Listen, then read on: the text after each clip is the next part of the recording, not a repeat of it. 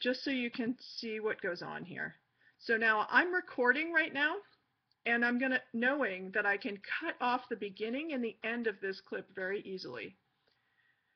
So here me, here's my script. When you're ready to record a video, YouTube can be a great resource for you or your students.